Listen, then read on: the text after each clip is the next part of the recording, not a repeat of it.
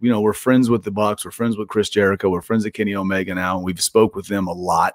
Um, but honestly, nothing ever came up, you know. And and Scott D'Amore hit us up the day we got released, and he's been very, very, very, very open with the fact that he wanted they wanted to bring us to Impact.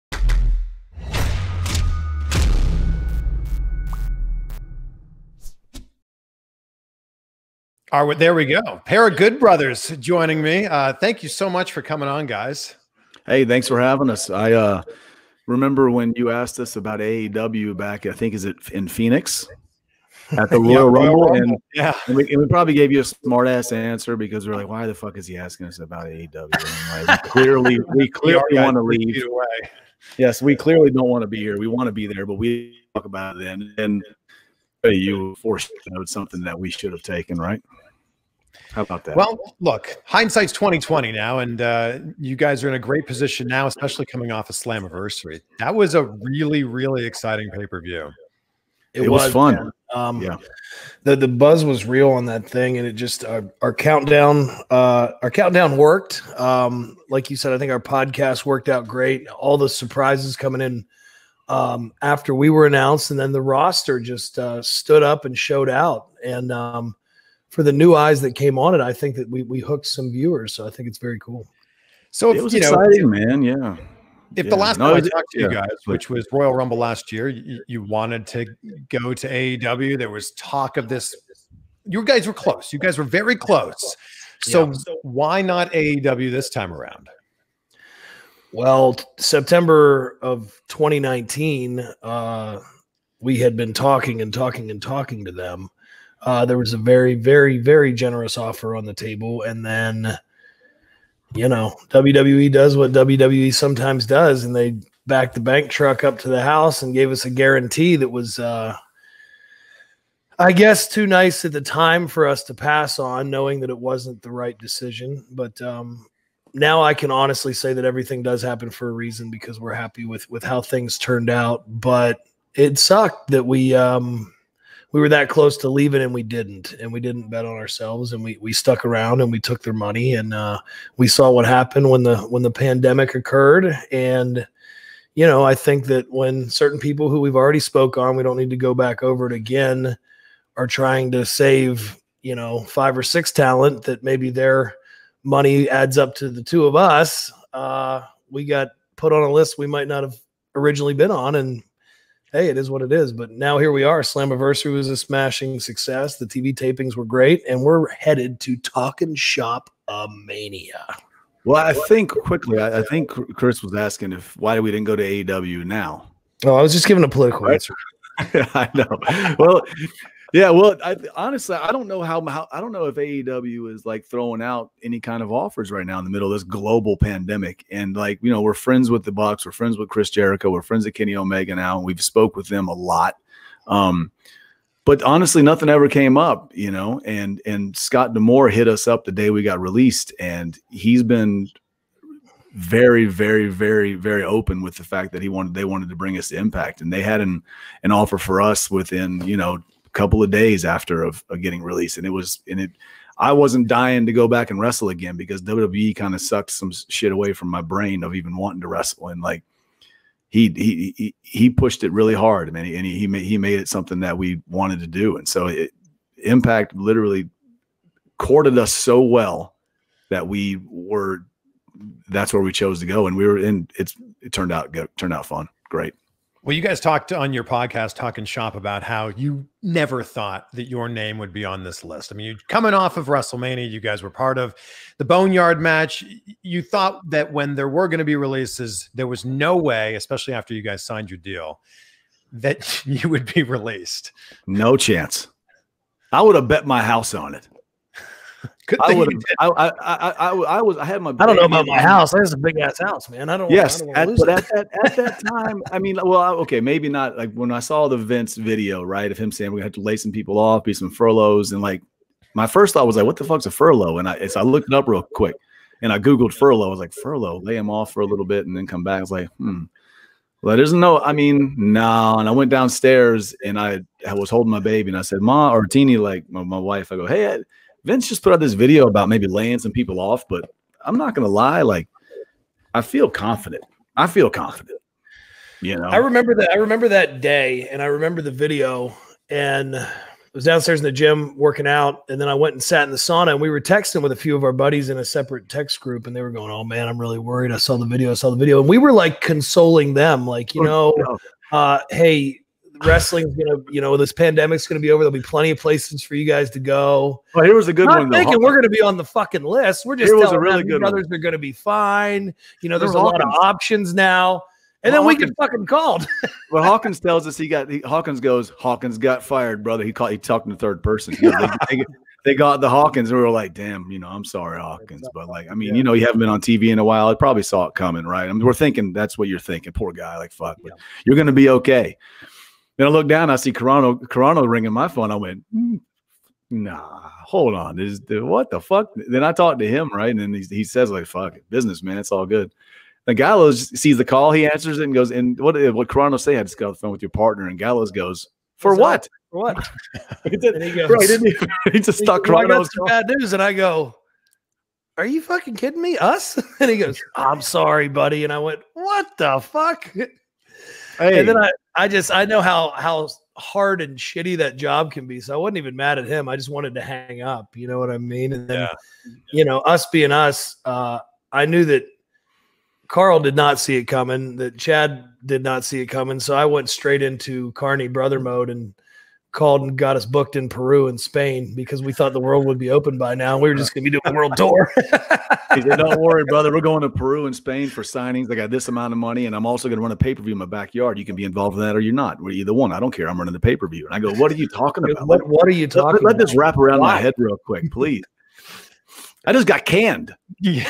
Well, and then I got a, I got a text from Big E. I don't think I even said this ever. I saw a text from Big E. Like, I remember I was up in my room, like, just going, "What the fuck just happened?" And then Big E wrote, "I'm so sorry, Chad. Like, you know, I eh, good luck, bro. I love you." And I was like, "How does he know?" You know. And then I realized that they they put it on their website. I just did. what I go, "Oh no, the whole world knows." So then I go outside and like. I'm working out outside, just trying to get my head right. I'm thinking the neighbors are looking at me like I'm a like I'm a jobless asshole. Everyone thinks I'm a loser. Oh, this is terrible.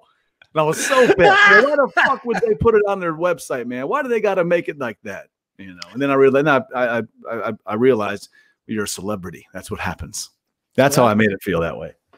So the first move after after the call, after finding out you're released, is picking the pieces up and trying to figure out where you can get booked immediately. Oh yeah, I, I'm not. Yes. I don't believe in a rear view mirror at all, and I've been through this before, and I, I wasn't worried at all. I know that we have, you know, a big following. We have good buzz. People would want to see us, and then it was just like, well, how do we capitalize on this negative, turn it into a positive? And uh, I went to work right away. I've been busier in the last three months than I've ever been in my life because of all the side business stuff with putting out the beer, with the podcast, with putting together this ridiculous pay per view that we're going to run um, and then you know the overseas bookings and negotiating with Impact and and getting you know them being very accommodating, putting all the stuff into that deal that we wanted, so we'd be able to eventually return to New Japan when the world's open, and you know lots of other stuff like that. And it's just uh, I felt like I had a real job for the first time ever because I'm on Zoom calls and I'm working the phone and I'm talking to these business guys and I'm pitching TV shows and all this shit that we've never really done before. But I mean, why the hell not? And it's all uh it's all working out really well. So Yeah, because we thought the hustle side, we, you know, we, we hustled when we were the, with the Bullet Club, selling Bullet Club shirts and taking our, you know, and we made as much money as we possibly could because we have families, and that's all. Like, you, you got to just try to make as much as you can, right? Sure. And so, like when you when you sign with WWE, you're just like, well, I mean, let's just here we go, let's just collect the check, do what we can, and like five years of just waving that WWE flag and and not having to go out and do these side hustles. But yeah, as soon as we got that release, man, Gallows was on it, bro. I mean, I always missed the hustle. I had a on it, secret wrestling promotion that I owned the whole time I was in WWE. I just lied about it. Yeah, it just like it just. I, I I don't always love the hustle. I, I like that nice little paycheck coming in and just relaxing and, and just like yeah, but don't you like all that nice extra brother money that I send your way? hundred hundred percent. Like I, I'm a brother, man, so I like to. It's been fun. It's just been you know trying to get back into the hustle mode again, and I mean we're fully back in now. But So when you guys signed the five year deal, was it like, all right, like we're we're allowed WWE lifers, we're going to end up retiring there? Well, Yes. I mean that's that's what we were told. Um, you can never full on believe ev- anything that you hear in this business. I don't think, but we, Evidently, we really, really, really wanted to believe that and that to be true because we're like, well, this is five years. I mean, not two years, not three years. Five years is a long term commitment to anything. I mean, which was still hard. It was a lot of money. I never had a girlfriend for five years, let Yeah. alone sign a wrestling contract. or a marriage. Hey, it was. it was, brother. Wait, it was still hard to sign that five year deal, like because that's a five years. I'm thinking, like, man, five's a long time, and like we weren't. In, in, hey, the WWE was great to us. Just like we weren't. We weren't always. It's a really grind. That schedule, man. That schedule is brutal, and so we were thinking, like, man, should we just have done the three years? But then, like, let's just collect on this money. just you know, all really. that money. And, Yeah, we and like- that to each other. We go, hey, we can do whatever we want when it's over, but that's that's lay down money. We've both been pretty smart. We'll be done if we want to be. I mean, we'll want to go out and do little brother signings and hang out with the boys and shit Yeah. like that. But we won't have to do anything. We'll just chill. It'll be done with. You know, we can do And- whatever, make Yeah, an like- appearance here and there. But uh, And they didn't say you'll never get fired, and they and they didn't say I promise you you'll never be fired. It's just like you know, I, I just felt like in September of 2019 we had a lot of quote unquote leverage, man, and like we Yeah. we could have left WWE happily, happily, and and we could have made a lot of money outside, and, and we didn't bet on ourselves. That's why I'm so proud of the. Uh, I mean, we did. We're we're going to. We're we're continuing to now, but. I'm so happy for the for the revive or for FTR to be able Yep. to have left left on their they own terms.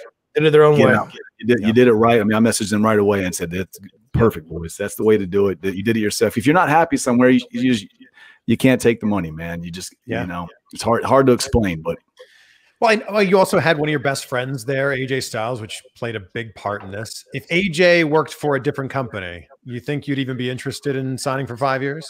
and I don't want to put it all on AJ, but AJ was very very very influential in us staying, and and that's not Highly influential. that's not a think- wrong- that's not a bad thing. He you know Sure, he but he, did, he didn't brother. know either and i think that's why he felt so bad about it and it's we're grown men it's nobody else's responsibility but he just was like i feel so bad. I convinced you guys to stay and, and told you everything was going to be all right and then it wasn't.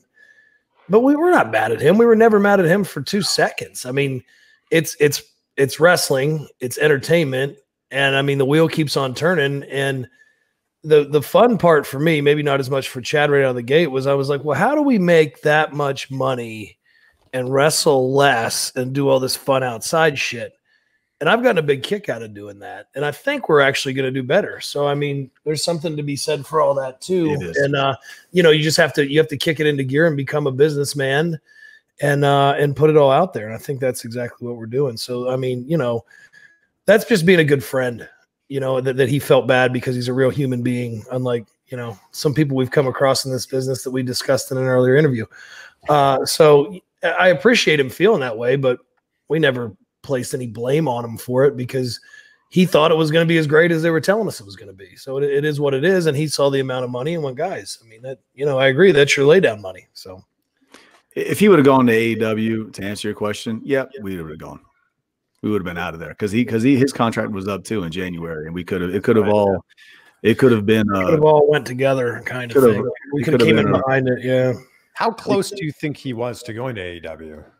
You know, he, he's on a different level than us, right? So he he reached a different top guy WWE thing. There's a different kind of there's a different level up there, and he's working with different kind of money than we're working with, and working with different kind of creative than we were working with. Um, so I don't know how close he got to leaving. I don't know, um, because they, they they treated they always treated AJ Styles properly.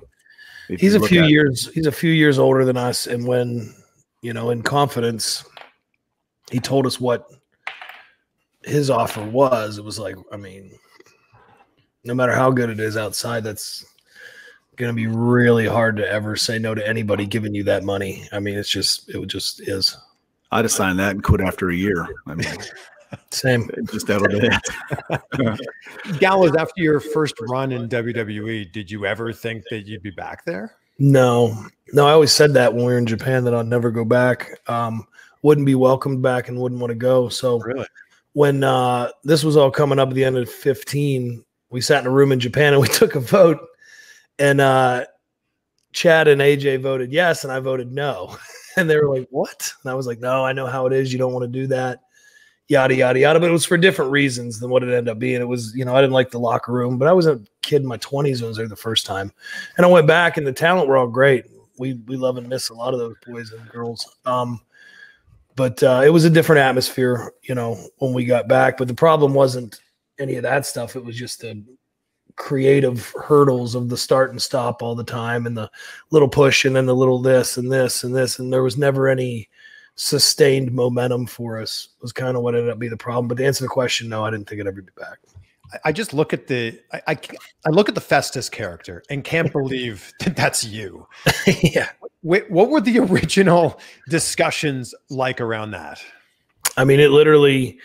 Well, tell them your Vince meeting. Yeah, I was 23 years old, and basically they told me to uh, kind of get out of shape, and this was the character that they had for me. Originally, we were going to be hillbillies, which I didn't. I was like, I mean, how far is there is this like hillbilly thing going to be able to go? Because originally Gordy was teaming with Henry Godwinn. So anyway, then I became the hillbilly. We cut this hillbilly promo that we came up with, and then okay, you guys are gonna be the hillbillies. I'm like, all right, that's whatever. And then we're getting ready to debut. We're in the ring saying we're gonna do this, this, and this, and it's like 20 minutes before doors. And they go, Vince McMahon wants you guys in his office.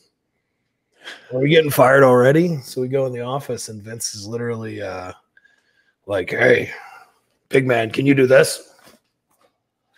And I'm literally trying to make this face back at him. Not like that, like this. And we do the Festus face to each other for 10 fucking minutes. And uh, finally, he explains to me that he wants me to portray this catatonic character, and the bell triggers him, and he goes wild and kicks everyone's ass. And then he hears the bell again, and he's back to uh, being catatonic, catatonic, so to speak. So, you know, I.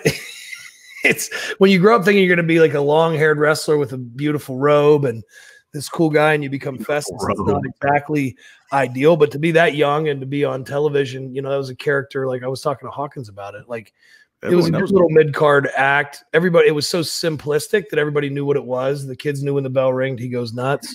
When the bell rang, he goes nuts, whatever. And it always got a good reaction. It just, there was never going to be longevity to it. But I mean, bought me my first house. So, I, you know, it was, it was, was what it was.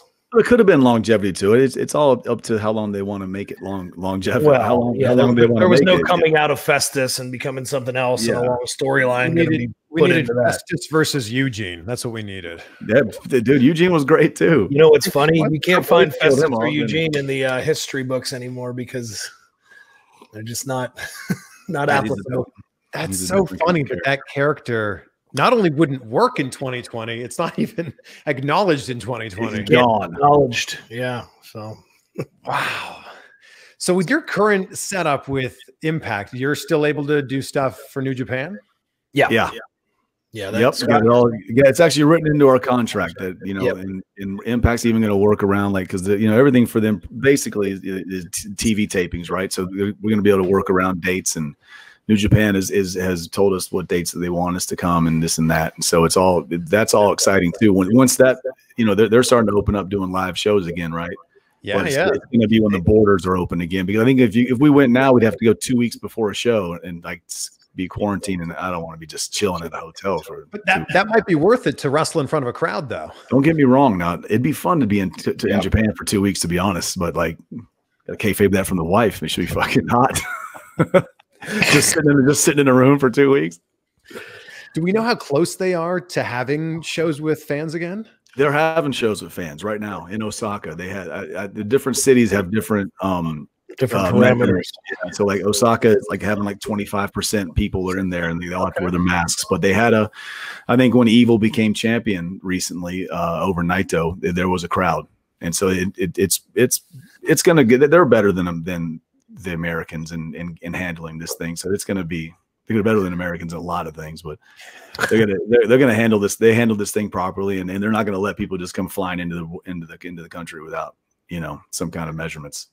Do you think about what your debut would have looked like if this was a world where there were fans at shows right now? Absolutely, man. That was I felt that was the only regret we had about the whole Slammiversary deal and and like that whole show because like that Motor City Machine Guns, uh, that was smartly booked right out of the gate. You're going to bring those guys out there and have this big surprise. Like they would have got a hell of a reaction. I think we would have got a hell of a reaction. A, a, a lot of stuff on that show Um, but but nobody got to hear that. So I, you know, I guess it's it's kind of a it's because if there was no pandemic, I don't feel like we would have gotten canned because I had first class flights all over the whole world, going to South Africa, going to Australia, going to Japan, all throughout this whole summer and and even into the fall.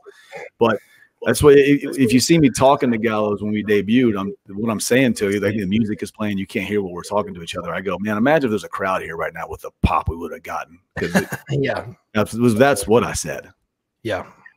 Because we we we proved to ourselves that we're a legitimate draw, so that's all we needed. Of course. Yeah. By the way, those first class seats, especially on the uh, overseas flights where you get to lay flat, Oh Oh. yeah, that, well, that that was better than the pod. that was uh, absolute uh, essential in the, in the next deal in the, in the in the deal that we signed. So and we got it. you got it. And some at some point you'll be flying to Japan, uh, hopefully in your Yeah. first class pod. In the What's in the up? first class. We'll No, Ro- fly to Ro- Japan Rocky knows that. later. Yeah. He's Yeah, our Rocky friend. He's that. all talent relations. I don't, and we haven't discussed that yet, but he knows that's coming. Yep. He knows we're gonna pick on him about it. Oh yeah. Are you guys surprised by the how much the podcast has taken off? Talk'N Shop is not only one of the top wrestling pods in the world, one of the top podcasts in the world as of right now. we because like we know that we just because like you know we just sit on here and talk with you right and like we just we enjoy just bullshitting and talking and like having beers and and just relaxing. That's what we like to do in the hotel room after a show anyway. And that's what that's what talking shop was was built on was you know me gallows rocky the young bucks. We would all sit in the room and we'd get beers and then the young bucks would just watch us get drunk and then we would just talk and we would tell everybody how and we tell each other how great we are all the time and so it's like we like we, we got to make this a podcast. Like I'm the best wrestler in the world. Young Bucks, you guys are the best tag team in the world. Oh hell yeah, we are. We know we are. Gallows is the best big man. He's the funniest. Look at him. And Rocky's a great little cruiserweight man. Look how good he is. And we're just sitting. We just put each other over the whole fucking time. And then it was like we got to turn this into a podcast. Then it turns That's why it's, into that's why it's called I think- talking shop. Yeah, it's it's That's what we're doing. Hey, you guys want to get beers and go to the room and talk shop? Fuck yeah, I want to go to the room and talk shop. Of course, we love just that. yeah. It's basically like hanging out with us because we have no format ever. So that's why we had to bring in Ryan Satin to actually kind of do like our our shoot interview, if you will. Because if it was just us, we would never would have covered any of that. We would have just been talking shit and making jokes back and forth and getting drunk. So we had Yeah, to have and- some semblance And of telling each other and telling each other how cool we are. man, you you look cool out there, man. yeah. well, I one flight from England to New York, we we had me and Gallo sat right next to each other, and we were we, and we just we were just sipping drinks the whole entire flight. I mean, the whole nine hours, and the whole time we're just going. Ah, man, look how cool you look with your beard. and, go, and I go, man, look at people looking at us, man. We look so cool. The whole the whole nine hours. You got four sons. What a badass motherfucker you are. Good shit. No, man, I'm cool as shit. Then- then we got to New York, and we're like, oh, Uh-oh. What's the go-to drink when you get on a plane? Well, oh, it depends, I guess. I, I think you can always go with a nice little bit of the little bit of the blood. Go with go with some nice red wine. Sip on that, nice even keel. Maybe Yeah, a cold beer every now and then. But The home We're drink because, because I have to be Right in that coffee mug there. yeah, I got getting a little Jim Rome coffee mug too. There we go. Right there we go. Sipping on coffee to keep myself awake, baby, because I, I didn't sleep well. I, I was laying in bed last night. My six year old gets on my right side. My eight year old gets on my left side, and I'm just trying to hook. I'm trying to hook up with mommy the whole time, and then nothing, nothing. These kids keep messing up my whole entire night. Little shits. Maybe tonight. Maybe tonight. Tonight I don't. I don't. Yeah, I don't, I don't think she's dying for it. I think at, at home though, it's a high boot cocktail. What a high boot cocktail is: a lot of vodka, diet anything, squeeze a citrus. That's the way to do it. We call that the high boot cocktail on the road. That is deemed after the big LG because uh, you know it's just what we like to do. Low sugar, low carbs, lots of alcohol. Yeah. I got to try this Friday night here while we're recording. Yeah, high boot cocktail it up, good brother. Yeah. I'm sure that uh, here in Los Angeles that'll cost about twenty-seven dollars. Oh, you can Oh, make it sure. at home. Just get some Tito's and just remember a lot of vodka, diet anything, little squeeze of citrus. Squeeze the digits. What part of LA are you in? I'm in Studio City. Oh, nice. Yep, closer. I think Rocky's in. uh Oh man, where's he at? Uh, begins with a P. Uh, Pasadena. There you go. And uh, Ryan Stanton's actually like one city away here. You guys could have a good little brother party. you should Yeah, could. should. Yeah, just sit six feet away and wear masks, right? That's it. Yeah. Yeah. So Gallows, you're going by Doc Gallows. Yeah. Uh, we we copyrighted. by Karl Anderson. Yeah. we we trademarked a bunch of stuff with Michael Dockins, our world famous wrestling trademark lawyer, because we knew we started doing that back in September because we knew we, when we left we wanted to have our own shit. So I own the big LG, I own Doc Gallows, we own Talk'N Shop, we own Good Brothers, he owns Machine Gun, Karl Anderson. Uh, there's a laundry list of them and a lot of lawyer bills, but it was worth it. So a, lot of lawyer bills. Well, my my wife was talking about it today. Hold on a second. Um, you know, it, I think it's cool that like if if you look back on when we debuted, um, I think we were the first couple of guys with along with AJ that were able to you know keep our names. Like yeah. a lot of, uh, uh, I remember Seth Rollins bringing it up to me. You guys got to keep, you know, he might not remember this, but like, you guys got to keep your names. You know what the fuck, you know, because we, I, you know, we have this. I mean, Karl Anderson, I built this thing for eight years in Japan and a yeah. couple six years before that in Los Angeles, and on the independent scene. And so now that we have this. I mean, it, it, it's so helpful to not to not have to leave WWE and then change my name to Chad or something like this is so people yeah. know who Karl Anderson is, and then I can throw the machine gun on top of that and give myself. It's just I'm just happy that we have that. You know, absolutely. But Luke, mm-hmm. you did you didn't want to go by Luke Gallows? Luke was a name that they had given to me, or I, I forget how, but somehow whenever I was doing the deal with Punk, the Luke thing came up. And then whenever I was out of WWE after that, it was always Doc, and I always called myself the Big LG. So I just went ahead and bought both of them, and uh, now they're mine. So no one can fucking take it. you know, you guys talk about your debut, and it was there was you know you guys made a mark when you debuted in WWE, and then stuff fall, fell off like relatively quickly. Yeah. From your perspective, what was it that caused things to fall off? It, we just were never booked consistently, man. We would get that like they those WWE terms like the shot in the arm or the fresh coat of paint. Well, when we were sitting here going, guys, we wouldn't keep needing these fresh coats of paint and shots in the arm if we could just have some consistent fucking booking. Like you win the titles and then the next week you lose in two minutes in a singles match, or you're you win a trophy and then the next week you're off TV, and the week after that you lose to so and so. And it's just not that we cared about always winning, but we would have liked to have had some. If we would have had some momentum with the booking, we could have kept the momentum with the little things that we were able to, you know, kind of get over on our our own, like the the nerds thing, the hot Asian wife thing. These are all things that we just said and inserted. Nobody wrote them for us because we were like, we don't.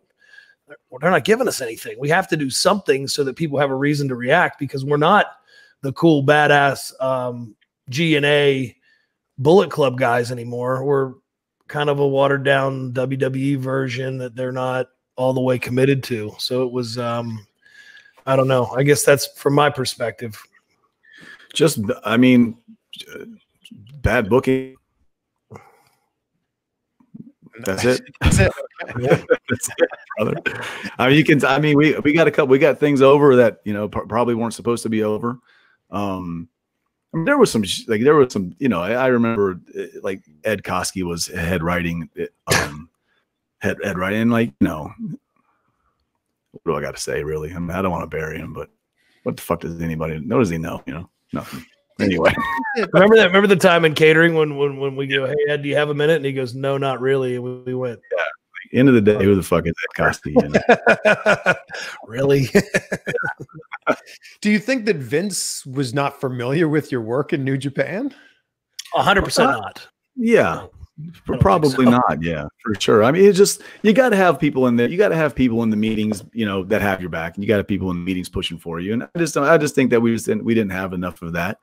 Um, you know, but we kept sneaking, we kept sneaking in certain places, and we kept, you know, we kept getting getting sprinkled in throughout the four years. So it ended up it ended up being okay. Um, we uh we actually we heard that from a friend of ours in the meeting who wasn't a creative guy. He goes, "It's not that anyone's in there burying you guys."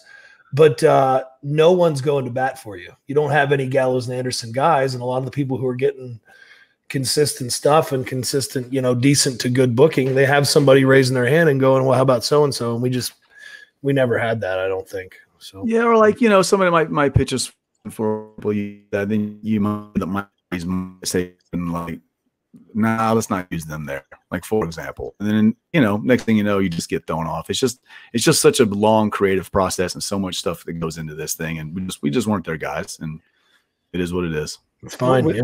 was there like a particular match or pay-per-view where you're like if only they had put booked us this way. If only we had gone over on this tag team, things would have been way different for us. There, there's a couple of different things, but I remember once, like they said that we needed a shot in the arm, right? And it was the Dudley Boys' last last uh, show, like, And in- that in was that New a York. time I, I want to say this. That was a time someone did Yeah. say that for us. I remember Fit. Fit was the one who got that for us because he knew us and thought we were good. And he said these guys need something. Now go ahead. I went ahead and cut. you Yeah. That's it, yeah. But it was like their not their retirement, but it was like their last show in the WWE. They were saying goodbye, maybe, and then we you know we came in from behind and we beat the shit out of them. And like we gave Bubba the, the the magic killer on the floor, and we put Devon to a table, and we stood tall over the Dudley Boyz. And then, you know, we get a promo next week, and we're not even, and we we sadly have to clear things a lot of times, and we and they didn't even want us to We say weren't we, killed, to say that we Yeah.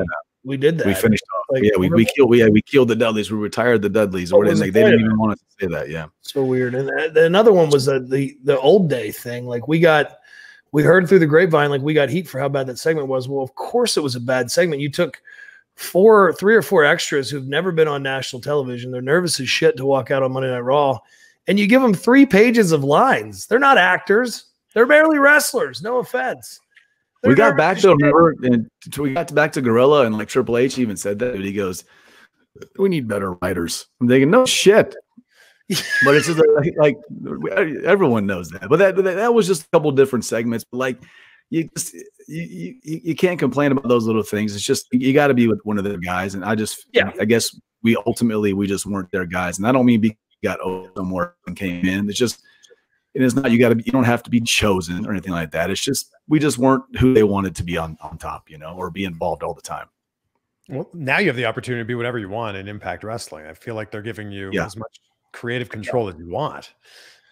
Yeah, and that's going to be a lot of nice, fun. It's a nice feeling. It's nice that when they give you a promo that they didn't stick lines in our faces. They let us just be us, and that's that's what we've wanted the whole time. So it's it's good. Scott D'Amore knows us too. Like, you know, he he's he watched he was in Tokyo when I had some big main event matches. And like, you know, he he he has he's watched me and Gallows have big tag matches in front of, you know, a lot of people at the Tokyo Dome. Like Yeah. so so it, it's that he knows what we got. He knows what we can do, and he knows what the what the can do. And he knows now that we're a proven legitimate draw with the way the anniversary was all over the place. So we're hope we're already looking f- towards the the the next contract for the raise already. So Yeah, we've we already, already asked- We already asked for been the texting raise. that about. Yeah, we want to stay within. Now we're we're all in. Yeah, Yeah, we, we, we want Impact to be to go into the future for as long as possible. We want to work for the next 25 years with Impact. So there you go. Wow, 25 more years with Impact. 25 more years. I I asked Triple H for a I asked Caron, Mark Carrano and Triple H for lifetime contract, 75 grand a year, lifetime. Gallows goes, geez, make you up it a little bit.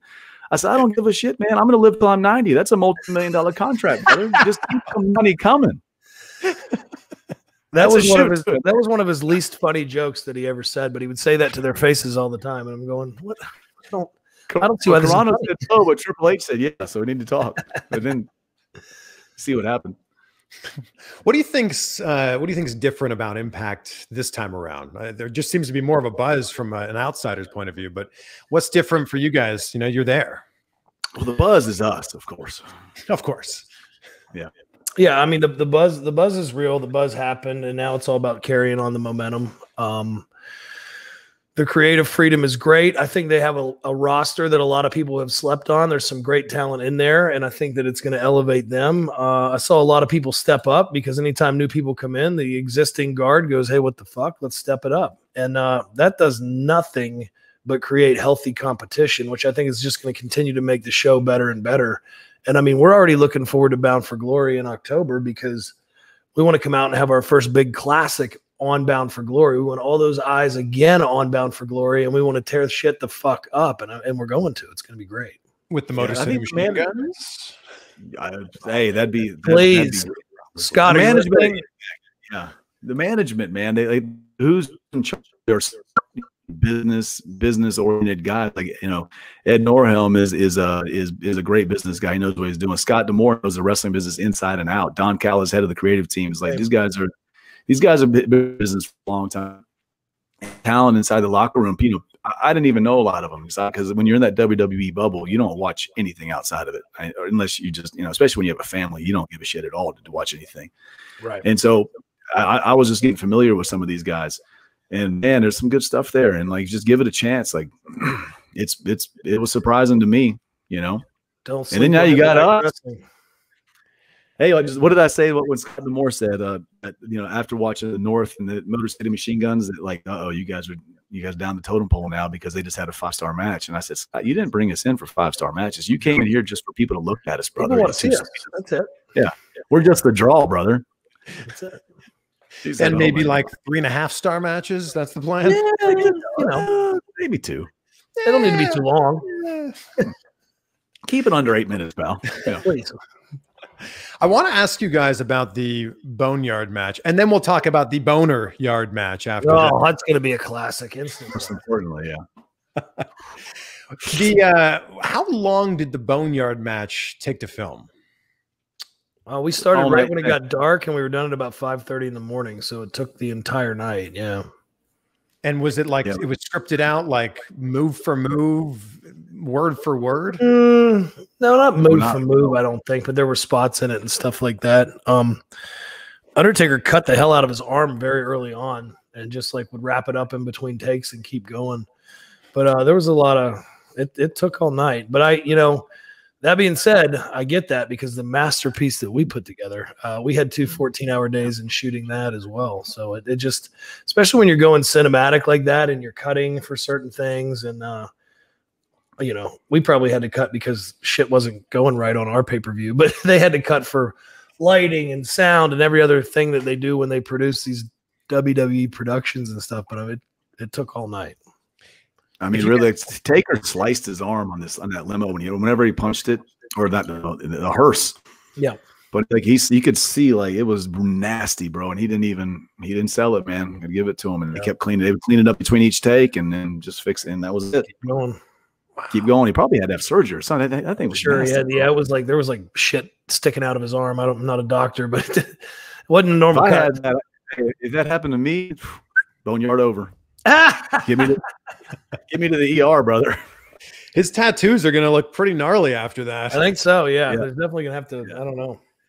Taker was great too. You know, putting that thing. It, that was the first I got a chance to. Well, we worked with him a couple times with like leading up to that match, but I mean, he was it, it was he was amazing it- it- putting that thing together with and like him and AJ. Obviously, AJ is probably the best ever, and so watching him and AJ just like, talk these things out and and just and just watching Taker work and.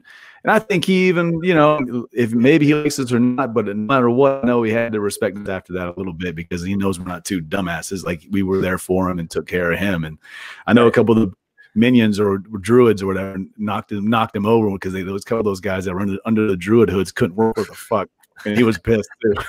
so it's like I think he was happy to get Gallows and Anderson touching him and whacking, you know. I Uh, think some of those druids need to go back to summer school. He said. That's what it was. Yeah. hey, he said it's a wrap on the druid. Or somebody said wrap on the druids. He goes, they need to go back to summer school. If it wasn't for the Boneyard match, do you think you'd been? Do you think Talk'N Shop A-Mania would look as good as I'm assuming that it looks? I will say this: if there was no boneyard match, there would be no boner yard match. If there's no boner yard match, there's absolutely no Talk'N Shop A-Mania because the rest There of it that is. stuff sucked. Yeah. Uh, yeah, pretty bad.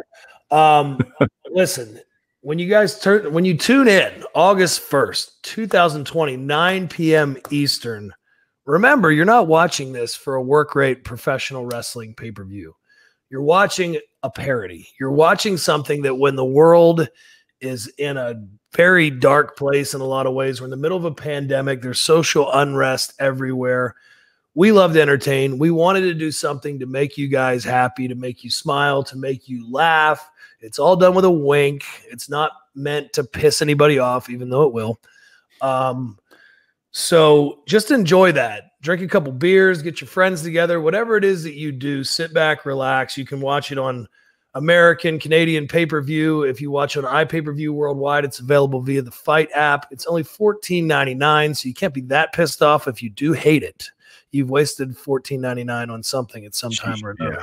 So uh, just know that it was all done in jest. We have a lot of what we think are hilarious uh, cameo appearances that we put in there, and the uh, the boner yard match is epic. I don't know for what reason, but I know that it's epic. it, it, it's like watching Hot Shots, right? Or Hot Shots Part Two. One of our That's favorite good- movies, Hot Shots. Yes.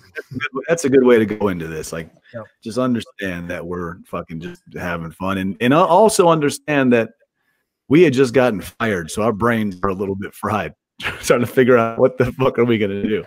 What the fun? Yeah. It's you know you say I mean, fired.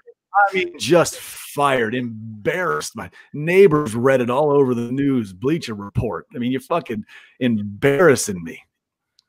Fuck. You'll get over it. It'll be fine. Yeah, you I'm doing lunches outside, and people are going, "How's he going to pay for his children to go to school?"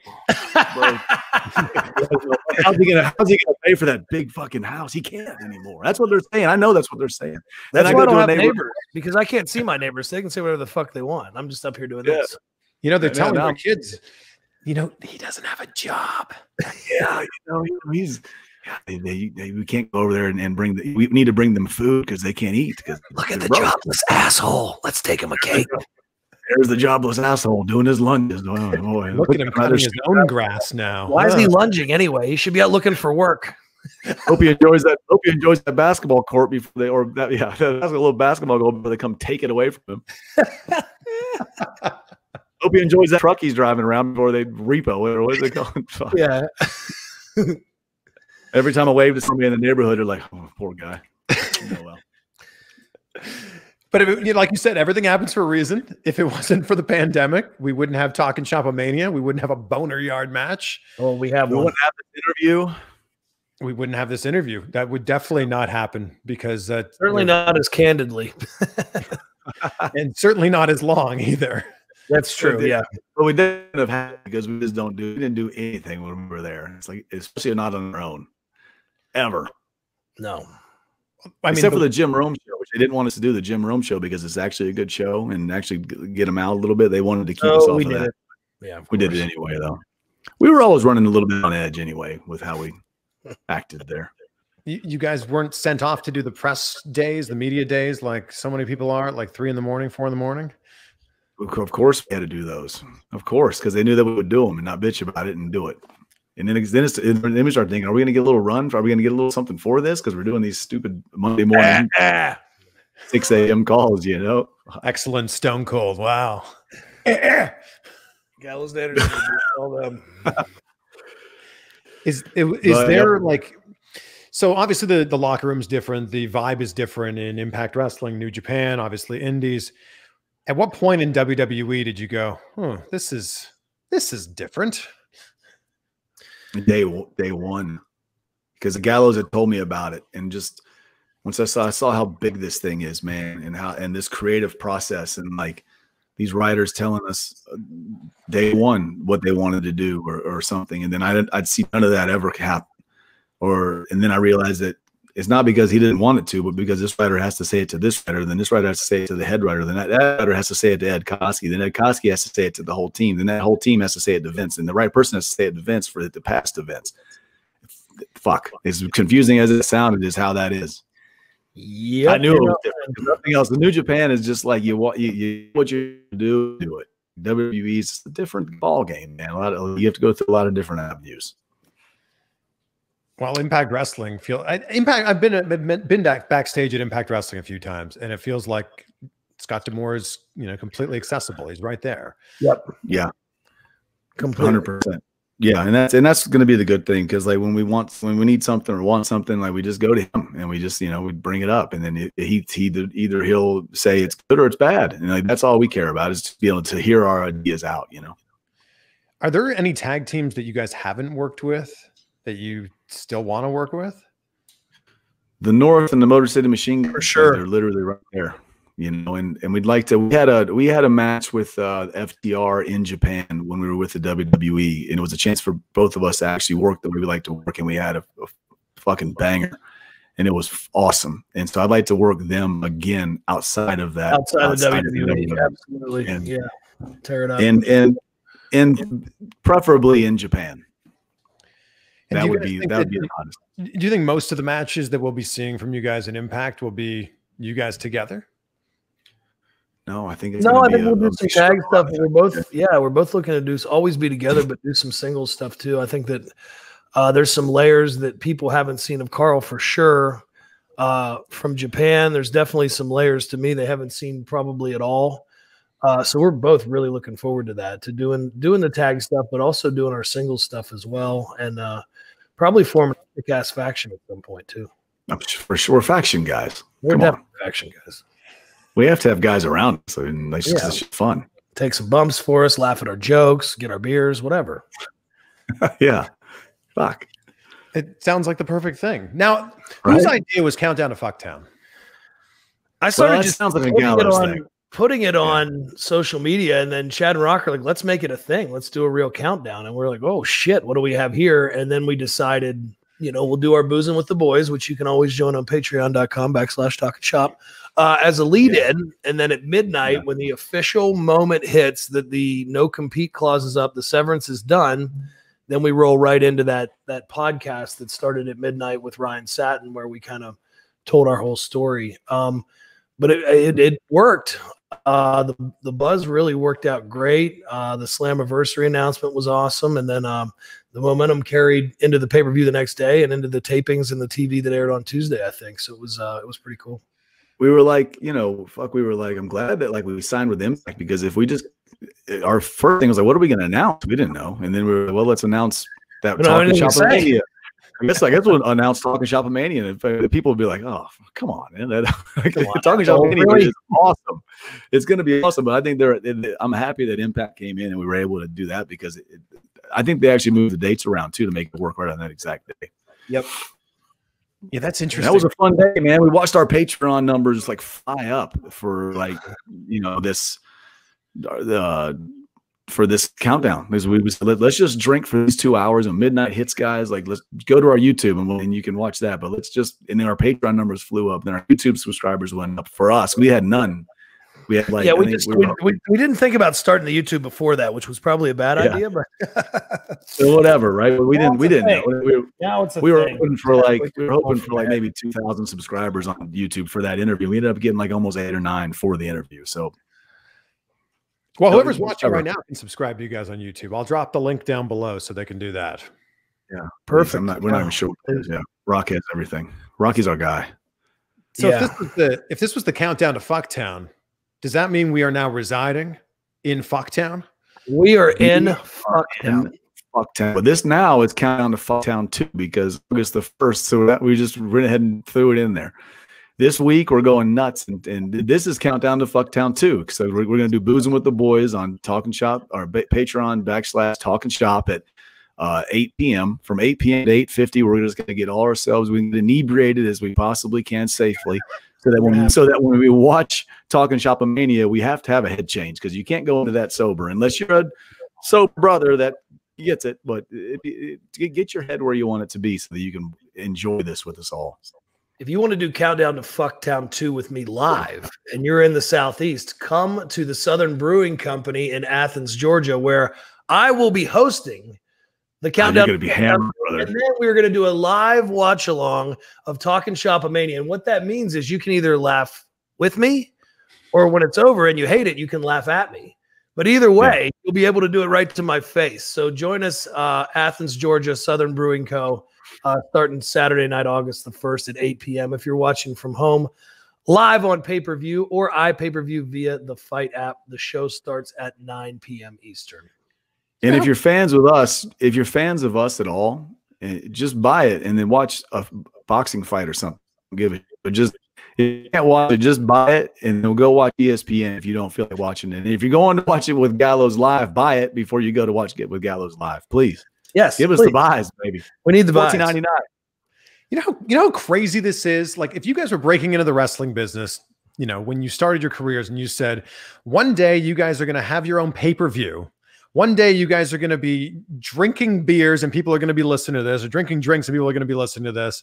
One day people are going to be paying on this thing called Patreon. it's just crazy to think about. I can't believe that Gallows didn't invent Patreon back in Japan. We would be fucking sitting nice, wouldn't we? We never would have had to go to New York. I should have thought of Patreon so much. Oh, man. Yeah, I'm pissed about that, actually. I just can't believe it wasn't. If, if we'd had it back then, dude, we would have, man, we would have been just loving it in the Bullet Club. Absolutely. You know. Well, I want to be respectful of your time because I, I know you guys have a very important business call here coming up. So Yeah, Gallows. thank you for making this happen. I really appreciate it. Hey, I Oh, appreciate you, man. Thanks for Yeah, having me. yeah, definitely. My son gonna really love that I did this interview. He watches all your YouTube stuff. Oh, that's Yeah. amazing. I'm, I'm You're one of the, you're one of the you're one of the you're one of the you're one of the few we like. interviews interviews are a lot for me. Oh, well, They thank are. you. Thank you. Look, it should just be hanging out, eh, not unlike your podcast. Just should just be hanging Exactly. having a conversation. Let's say, hey, let's do it. Can we? Can you get, come on Talk'N Shop sometime? You can crack open a that. Canadian beer, a little Molson Ice. Oh, Molson Ice. Wow. Oh, baby, I love a good Molson Ice. That is a dangerous beer. But yes, Oh, we, it's That'll funny. They were one of the cheapest beers at the beer store because in Ontario, you can only buy beer at the beer store. Beer store, yeah. And Molson We. Ice were cheaper but had more do know, alcohol. yeah. So when my friends and I really wanted to get messed up, we'd buy Molson Ice and then we'd say, We're getting ice tonight. Uh-huh. Then you get ice. That sounds So yes, I, sign me up. I'm coming. I'll come on Talk'N Shop and get hammered. Let's do it, Oh, please. perfect. I love it. Love No. it. You you let me know whenever. I will. I promise. Thanks for having us, good brother. Thank you. Yeah, talking absolutely. Shopomania, August first. Hey, yeah, thanks for thanks for everybody for buying Slammiversary and making us look like the draws that we know we are. On the list of wrestlers that you'd want to have a beer with, I feel like Gallows and Anderson would be like right near the top of that. Couple of good brothers. So awesome hanging out with them. Thank you for hanging out with us. So excited to see what's in store for them in Impact Wrestling, both as a tag team and as individuals. For the next two years, well, I guess for the next 25 years, Anderson says they want to sign that 25 year deal, which is ironic because Impact Wrestling hasn't even been around for 25 years. But sure, we'll be talking about this in 2024. Uh, now, you'll have to excuse me. I'm about to record a new episode of my podcast, which has the very original name of The Chris Van Vliet Show. You can find it wherever you listen to podcasts. There's, of course, a link down below where you can listen to this interview or any of the other interviews that I've done. So if you don't feel like looking at us, if you don't feel like keeping the YouTube app open for the whole time, podcast. Mm-hmm. That's your option.